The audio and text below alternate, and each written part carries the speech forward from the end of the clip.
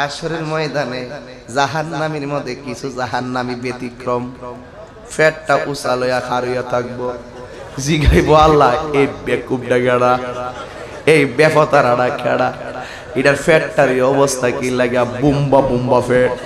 আমি তো সুদ করে সুদ করে কই তুইব যা খাইবা, সব আল্লাহ সাপ বানায়া ফেলে দিতে পারি পেটের ভিতরে যেই সর্পগুলো দংশন করতেছে এই সর্পগুলো যদি পৃথিবীর মধ্যে একবার শ্বাস ফালাইতো, গাছগুলা মরে বিষের যন্ত্রণায় সারখার হয়ে যেত। এমন বিষাক্ত বিষাক্ত সাপ আল্লাহ পেটের ভিতরে ঢুকাইয়া দিব। হ্যারে একটা সবুল মারে হ্যাঁ বাঘ বুকের চিৎকার মারে। কিন্তু কান্নার আওয়াজ কেউ শুনবে না, কারণ কি জাননি? আল্লাহর ধরা নরম না, আল্লাহর ধরা অনেক শক্ত।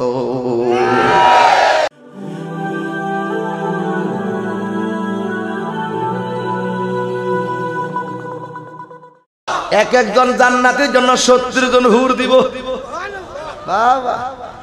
দেখ কিছু বানার লাগবে দেখেন না, অবস্থা দেখেন না এখন। কি জুয়ান হয়ে গেছে গা। অতি সোজা। আল্লাহ কয়, এই শুভ সংবাদ বাটফারের জন্য না।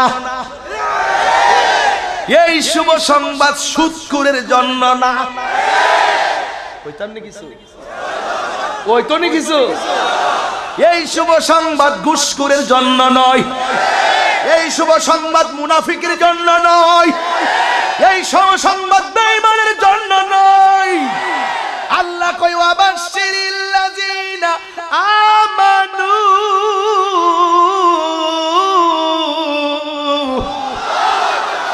এই শুভ সংবাদ কেবল ইমানদারের জন্য। হেতে কো ও অতই সোজা এতই সোজা। আল্লাহ বলেন, যারা ইমান এনেছে, নেক আমল করেছে। আমার নবী বলেন হাসরের ময়দানে জাহান্নামীর মধ্যে কিছু জাহান্নামী ব্যতিক্রম। ফ্যাটটা উচালয়া খারুয়া থাকব। জিগাইবো, আল্লাহ, এই বেকুবটা গেড়া এই বেফতারাটা খেড়া। এটার ফ্যাটটার অবস্থা কি লাগা? বুম্বা বুম্বা ফ্যাট। বুম্বা বুম্বা ফ্যাট লয়া সৌদি সাহেব। মেয়র সাহেব কাল বুয়তিন মুসলিম শরীফের হাদিস তো। রাগ করে তো লাভ নাই। উচিত কথা তো কই দিব ঠিক নি? আমি তো সুদ করে সুদ করে কই দিব সুদ করে বেজার হইলে আমার কি করব? আমি তো মুনাফিক রে মুনাফিক কয় লাগবো? মুনাফিকে বেজার হইলে তাহিরি কিছু করার নাই। তবে এর ফ্যাটটা হইলে এমন ঘরের মতন। এও আবার ঘর হইলে তো ভালো আছেন বড় ফেট অসুবিধা নাই বইয়া থাকব সারা দেব কিন্তু পেটের ভিতরে কোটি কোটি সর্প তার ধ্বংসন করতেছে। আর ধ্বংসন করার কারণে বিষের যন্ত্রণায় জাহান্নামীর মধ্যে জাহান্নামী, সে একটা চিৎকার মারে। জাহান্নামের ভিতরে যারা আগুনে জ্বলতেছে, হেরাও জাহান্নামতে কয়, আল্লাহ, এই বিহুব দাঁড়িয়ান থেকে নৌ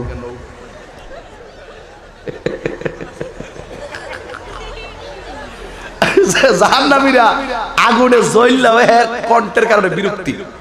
খাল্লাই বেহুব দাঁড়িয়ে থেকে নৌ এবার ডাক দিয়া কয়, এই পেটটা কাল বুয়তিন, পেটটা ঘরের মতন। হাদিস শরীফের মধ্যে এসেছে, পেটের ভিতরে যেই সর্পগুলো দংশন করতেছে, এই সর্পগুলো যদি পৃথিবীর মধ্যে একবার শ্বাস ফালাইতো, গাছগুলা মরে, বিষের যন্ত্রণায় সারখার হয়ে যেত। এমন বিষাক্ত বিষাক্ত সাপ আল্লাহ পেটের ভিতরে ঢুকাইয়া দিব। হ্যারে একটা সবুল মারে হ্যাঁ বাঘ বুকের চিৎকার মারে। কিন্তু কান্নার আওয়াজ কেউ শুনবে না, কারণ কি জাননি?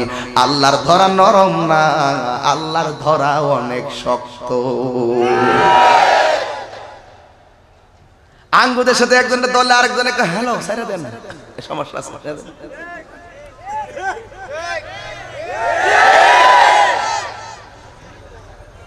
কিন্তু আল্লাহ যখন ধরব, হ্যালো সলবনি এবার নবী ডাক দিয়া কই, আল্লাহ, এই পেট ওয়ালাডি কেডা? আল্লাহ কয়ারা হইল সুদকুর যারা দুনিয়ার ভিতরে সুদ খাইছে তত টাকা হারাম খাইছে, আমি আল্লাহ রাব্বুল আলামিন এই টাকাগুলোরে আমি সেই সর্পে পরিণত করেছি, এখন বলেন সুদ কি চলবে না বন্ধ আওয়াজটা আসতে হইছে। কি হবে বেঁচে থেকে? কি হবে বেঁচে থেকে? অযথা বিদ্যা শিখে যদি না গড়তে পারি সুদ মুক্ত সমাজটাকে। আওয়াজটা আসতে হয়েছে। আরও জোরে হবে। হাত তোলে হবে। যুবকরা ওয়াদা করো, সুদ খাব না। এখন থেকে ওয়াদা করো, সুদ খাব না। সুদ চলবে। চলবে। এই যুবক, তোর আজকে ওয়াদা করতে হবে। একবার নবীরে ডাক দিয়া বলো, ইয়া রাসূল আল্লাহ বলো। আল্লাহকে ডাক দিয়া বলো, আল্লাহু আকবার। এই যুবক, আজকে আমি একজন তোমাদের যুবক, যুবকের পক্ষ থেকে একজন সহযোদ্ধা হিসাবে আমি তোমাদেরকে বলতে চাই, যতদিন এই দেহে প্রাণ থাকবে, আজকে আনোয়ারপুরের জমিনে জবান দিয়ে আল্লাহকে ডাক দিয়েছি। এই জবান দিয়ে কোনোদিন আমরা হারাম ঢুকাবো না হাত তুলে বলো ঠিক কিনা বলো নারায়ে তাকবীর নারায়ে রিসালাত সুন্নি মহাসম্মেলন জিন্দাবাদ ইতিহাস তিরান তাহিরি সাহেব জিন্দাবাদ।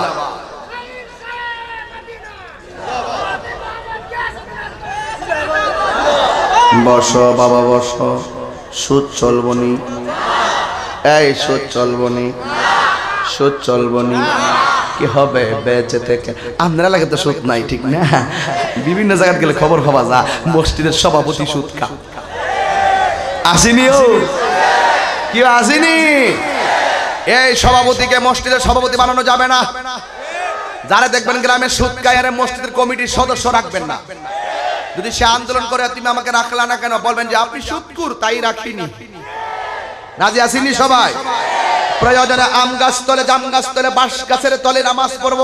কিন্তু সুদ করে টাকা নিয়ে মসজিদের কোনো কাজে লাগাবো না। ঠিক কি না বলো? কথা ফাইনাল কথা কি? কথা কি? সোজা কথাই ভালো বাকাতারে কথা কয়ে লাভ নাই। সুদ করে দাওয়াত আমার দরকার নাই। কি হবে বেঁচে থেকে?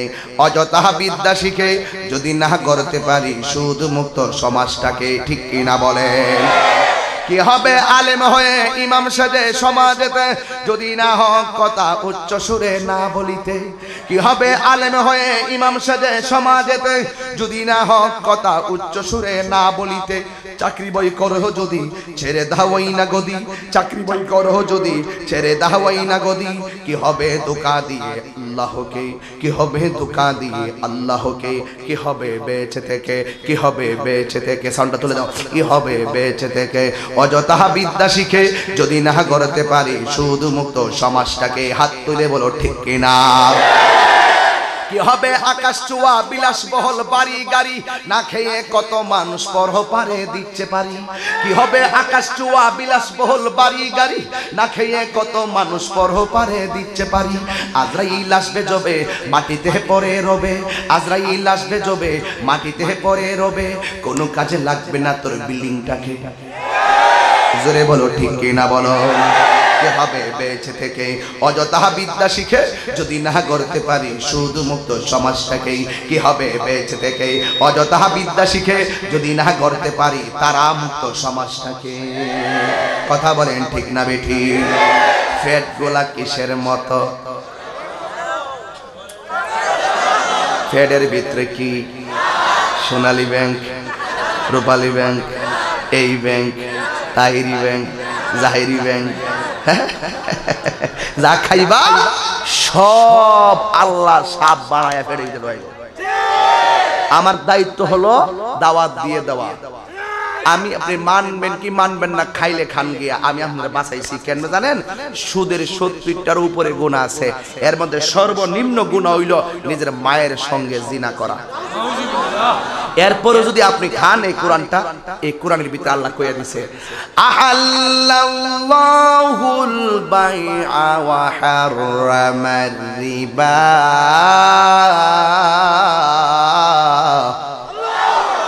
আল্লাহ রাব্বুল আলামিন বলেন, আমি আল্লাহ ব্যবসাকে হালাল করেছি, সুদকে আমি আল্লাহ হারাম করে দিয়েছি। আল্লাহ যেটা হারাম করে পৃথিবীর কোনো মৌলবি সেটা হালাল করতে পারেনি। আল্লাহ যেটা হালাল করে, পৃথিবীর কেউ এটাকে হারাম করতে পারে না। এই জন্য যুবক ভাইরা আমার অনুরোধ করে বলে গেলাম, যুবক বয়সের পোলাপান এখানে বেশি আসছেন শতকরা পঁচাশি পার্সেন্ট তোমরা আমার সহযোদ্ধা, একটা কথা মনে রেখো, এখন থেকে নিয়ত করে আমরা হারাম খাইতাম না, কারণ হারাম খাওয়ার পরে শরীরে যে রক্তটা পয়দা হয়, এই রক্ত যতদিন গায়ে থাকবে, ততদিন পর্যন্ত তোমার হাতের দোয়া আল্লাহ কবুল করবে না। কথা বলেন ঠিক না